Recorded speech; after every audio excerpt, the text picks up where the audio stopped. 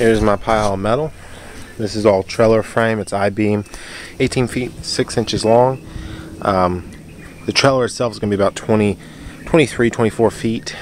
Uh, that'll give me a cutting length of about 20 feet, which is perfect.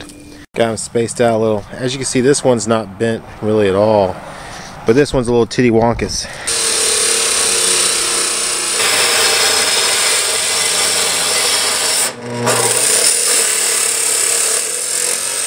Alright, here it is laid out.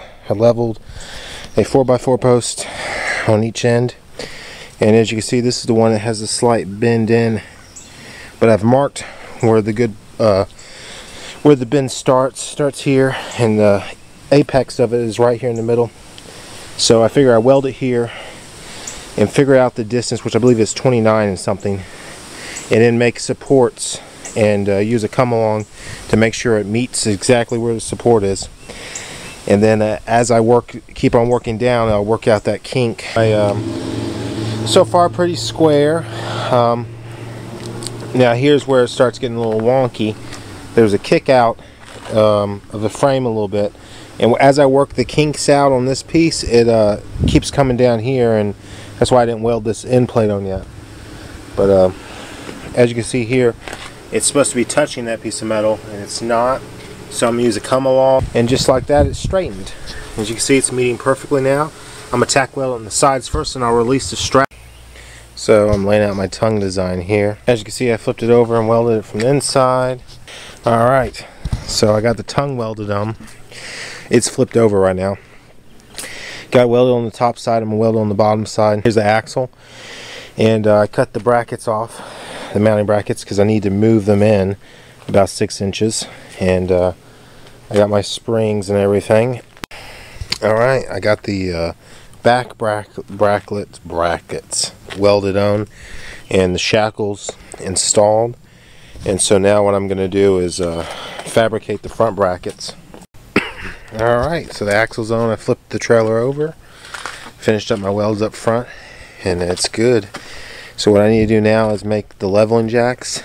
Not make, I already bought the leveling jacks. Is figure a way to mount them.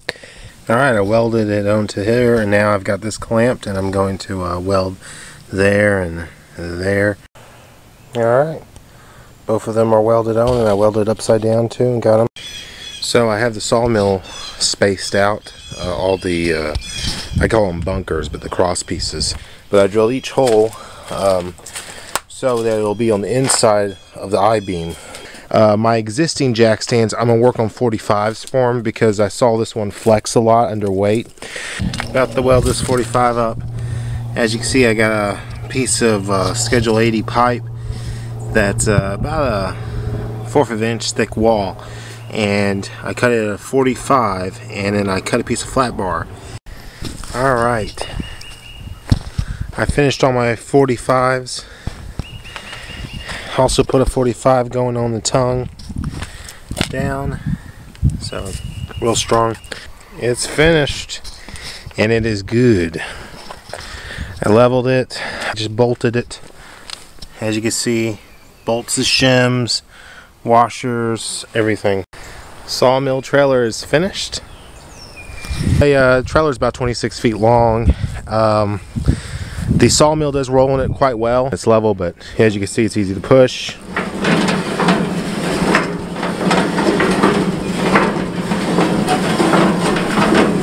Clears everything, which is important. And uh, yeah, I mean, the build probably cost me about $600 and that was the uh, angle iron was about $400 and the uh, cross metal, uh, it's a 6x3. All I got left to do now is I'm going to drill holes through this and have like a pin. I could put maybe one on each end on each side uh, so when I travel down the road I don't have to strap it. I can put the pins in and it won't move. Roadworthy has to be inspected and I'll have to get lights chains safety chains and all that which is not that hard. But uh, yeah if I'm gonna do that I'll put a better axle on it and uh, fenders probably. But I'll make the axle where it's removable so I can take it off. Yeah. So uh, the cut capacity now is 21 feet